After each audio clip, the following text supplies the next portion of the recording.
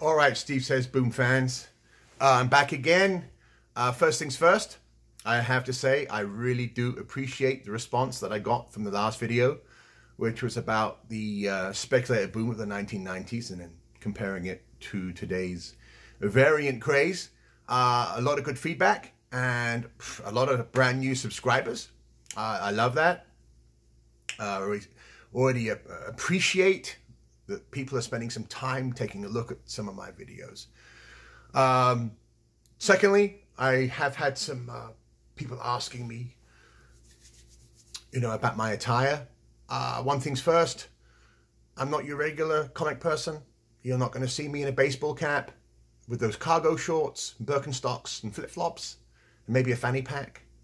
Um, however, I am about as hardcore nerd retailer that you can possibly imagine.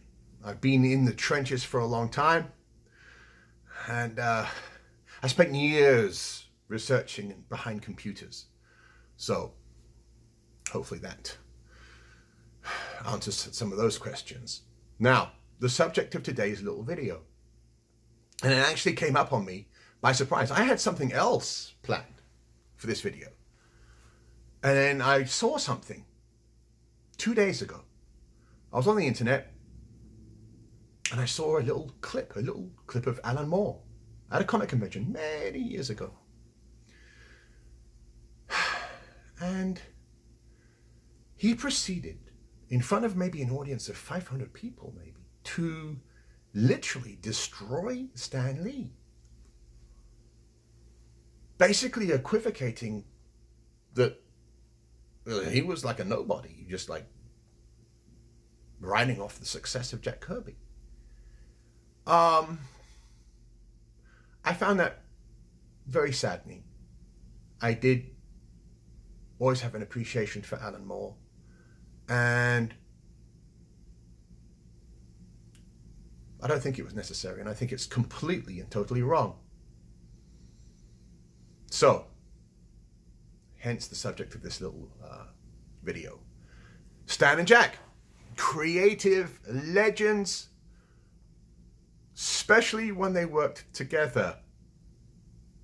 The good thing is, is that we have examples of them together and separate.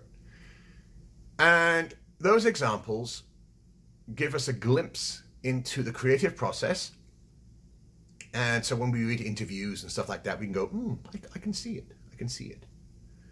I'm not going to talk about Jack's previous work before 1961 because it goes on forever and I don't want to do a 95 minute video. Um, so we're just going to deal with the, the 1960s stuff and 70s, you know, uh, his Marvel and DC work. Um, so, Stan and Jack, how did their team work? How, how did that creative team work? Obviously, Jack was the volcano of ideas. Okay, it's like bomb, bomb, bomb. Well, we can do this, we can do that, we can do this. He was the designer of all the costumes and the looks. He, it was obvious that he didn't get a 12-page synopsis from Stan explaining how each costume has to look. Do you think Stan had that time? He had a whole Marvel Universe to run, including all the other bits and pieces and the logistics of a day-to-day running of a company sitting down there and, and explaining exactly how Ulik the Troll's look's going to be. Uh, no. Jack. Stan would give brief outlines. Here's my story uh, for next month. So, when we say co-plotted by Jack, we really do mean co-plotted by Jack. Um, however, it wasn't like Stan went on the beach with a couple of Mai Tais and then turned up at the office and said, Oh, is, it, is, is the work already off to the printers? He was there. He was seeing the art. He was making changes where he deemed it necessary. The reason we know that is because we can see the original art that Jack drew with little notes. You've got Jack's original scripting and Stan's little fixes. What does that prove? What does it give us as observers? As historians, researchers, what does it give us? It lets us know that Stan was the ultimate wordsmith and editor. Okay? No one could give you that silky smooth dialogue like Stan. Just beautiful. He could go from regular, you know, human narrative to grandiose being, ridiculous, over the top villains. Beautiful. Unparalleled. Still untouched, in my opinion. His skill to grasp all that wordage in a single panel, explain things. It was like, wow, incredible. So, you have this creative maelstrom, Jack, coming up with idea after idea.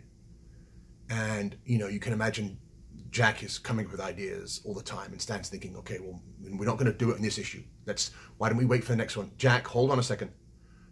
Pacing. Don't blow it all up right away. Now you're thinking, why am I saying that? What's the reason for that? Well, as we know, due to the history books, uh, Jack left Marvel in 1970 and not in the best of terms. According to legend, he pinned his cigar to the wall in the Marvel offices and left. He was very disgruntled, uh, upset, and bitter in regards to the fact that all of his work was now being merchandised. He was getting no money from that. And um, also, there was a, an article that Stan did that he took great umbrage with, uh, basically thinking that Stan was just like ripping him to shreds. That can be something for later on. Needless to say, Jack takes his creative prowess with him over to DC.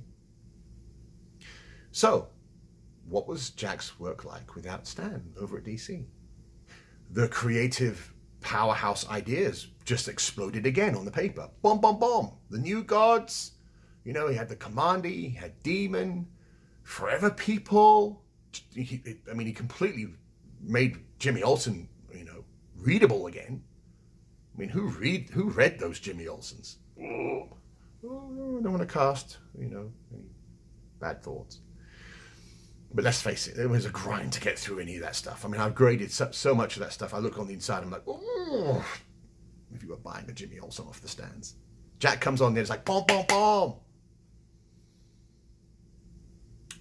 So, when you look through the material, read it, it's all there, it's building, and then it sort of loses its focus. Uh, it's like it was all bang, bang, bang, and then, ooh, wh- wh- where are we going? What are we doing?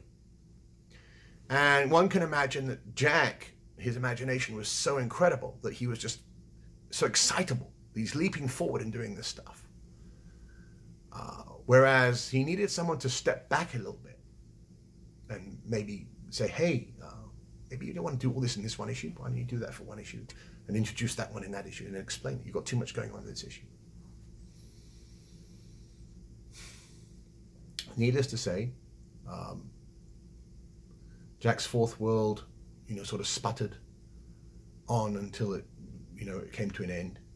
Um, the DC have been mining that material forever, which goes to show you just how great those ideas were. But at the time, um, you know, Jack was unable to sustain that creative heat on the titles. What about Stan? Stan went through the same thing himself. He did the Silver Surfer series with John Buscema. He took Jack's character, because Jack created the Silver Surfer completely. We know that. Even Stan admits that. Stan took that character and decided to do the ultimate Stan version of what the great comic was supposed to be. The series ran 18 issues and it was cancelled. Tells you quite a lot. Me personally, I love that run.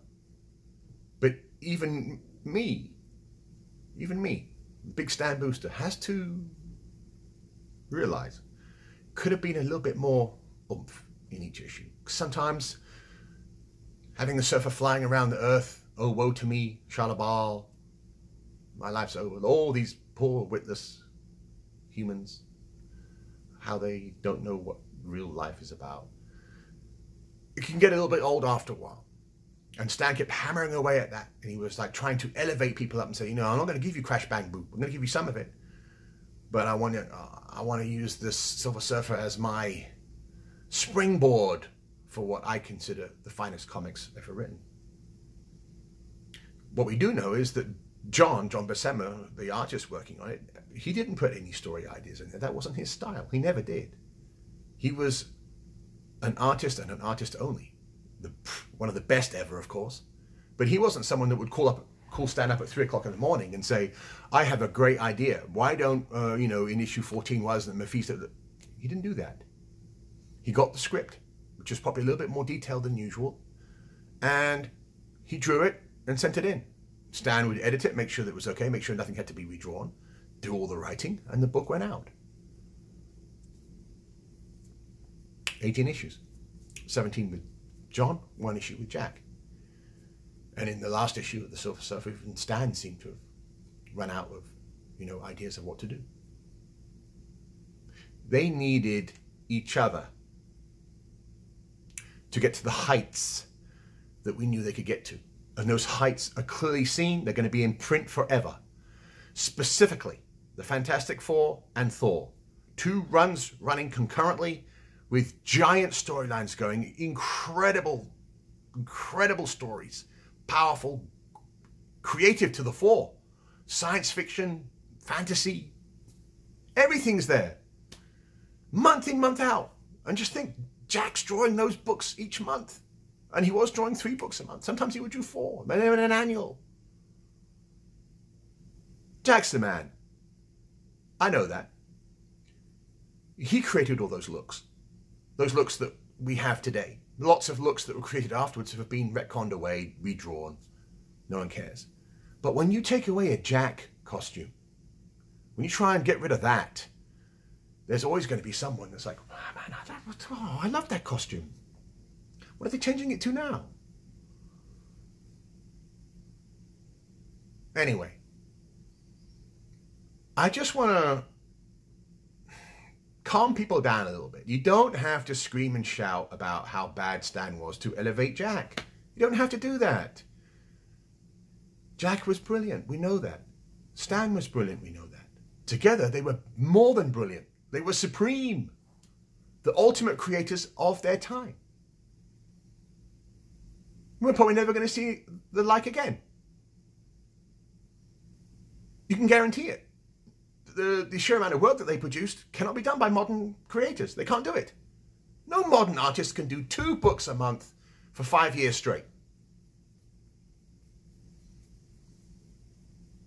Never going to do it. And still remain enthusiastic and creative and come up with ideas. Imagine that. Jack's on his drawing board, he's working away. He's like, man, I've got to get. And he, he stops for a second and goes, man, wouldn't it be good if this issue had this in it? Hey, Stan, um, I was just, I just have an idea, blah, blah, blah. Okay, uh, you'll, you'll see the pages. Pure genius. Also, the debate on who the creative person was is easily over. We can see it through the evidence. When Jack came back to Marvel in 1975, uh, what did he bring with him? In 1976, he unleashed the Eternals on the Marvel Universe. It's a massive story, massive. So the Celestials, the origin of mankind. Whoosh! Jack came back with all these ideas. Um, you know, obviously he was um, a fan of a book called Chariots of the Gods at the time. Google it if you don't know what I'm talking about. But it was massive in scope. He'd come back. He, he came back on his own titles with all the imagination in the world. Um, less so when he did Captain America. Still great. His Black Panther work was his Black Panther was way out there, way out there. Actually caused a lot of people up to be upset. But anyway, that's something for others. Stan, after 1972, basically faded away from the actual creative process of books. When he did come back and do something, he did She Hulk. Nothing massive about that, nothing really creative. So, hence, wherever Jack went, he was creative. He was doing things. He was trying to create things. Even when he went off into Indies and did Pacific, he was creative. Stan is nowhere near as creative as Jack. That's obvious. But Stan's skill at editing, pacing, story structure, unparalleled. He held that whole universe together for 10 years straight before he handed it over to Roy Thomas.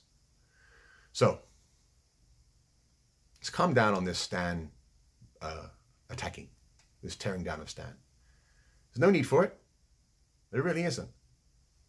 Jack is great. Stan is great. Together, they were the best. Boom!